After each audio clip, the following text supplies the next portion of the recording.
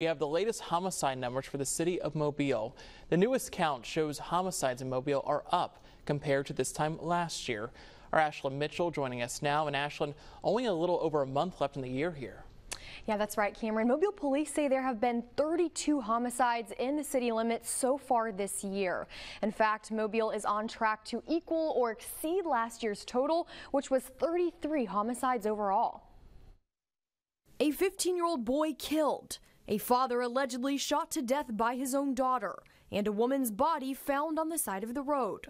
These are just a few of the gut wrenching homicides Mobile has seen in the last few weeks. Even one homicide is too many, so uh, they're all unacceptable, um, but we have to work as hard as we can to seek justice. With a little over a month left in the year, Mobile Police Chief William Jackson says Mobile sits at 32 homicides compared to 26 during this same time last year.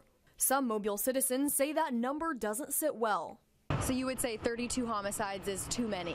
Too many.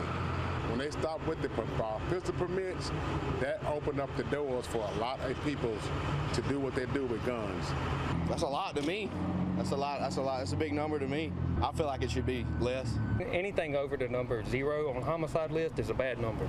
Of the 32 homicides, Chief Jackson says six of them are domestic related.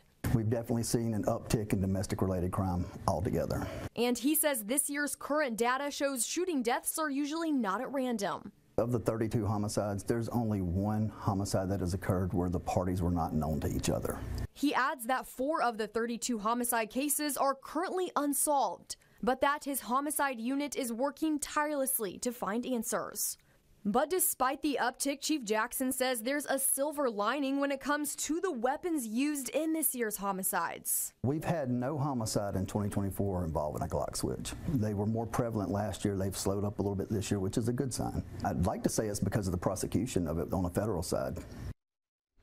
And as for outside the city limits, a spokesperson with the Mobile County Sheriff's Office tells me there have been 13 homicides in Mobile County so far this year. On the other side of the bay, a captain with the Baldwin County Sheriff's Office tells me Baldwin County has seen 11 homicides during 2024 alone.